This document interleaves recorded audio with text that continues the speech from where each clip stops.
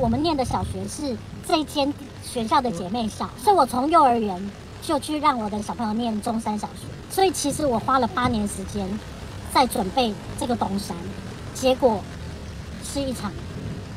家长气炸了，费尽心思要将孩子送进北市升学名校东山高中附设国中部，却没想到忙了八年，到头来却是一场空。已经收到录取的通知，都按照他们的时间到校来缴费，然后又二次来领制服。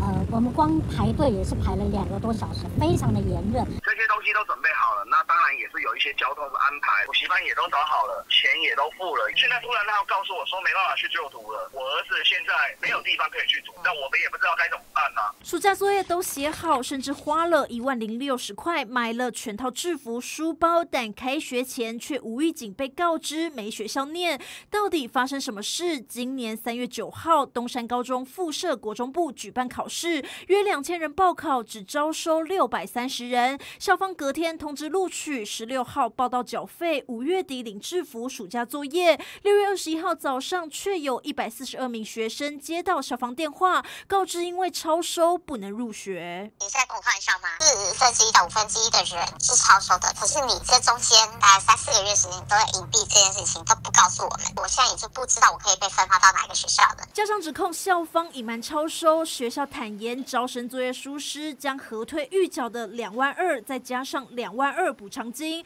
但名校梦碎北市教育局甚至坦言，从没发生过这么严重的超收事件。过往超收通常都是因为同分或是双胞胎要同校，学校才会申请超收两三名学生，协助这一百四十二位的学生哈，回到原涉及学区的学校进行就读，会从重惩处。教育局说，重话将会寄出三十万到一百五十万不等罚款，不排除减招甚至停招处分。毕竟一百四十二名学生无效可念，真的是非常夸张。民学梦在美陈博汉台北报道。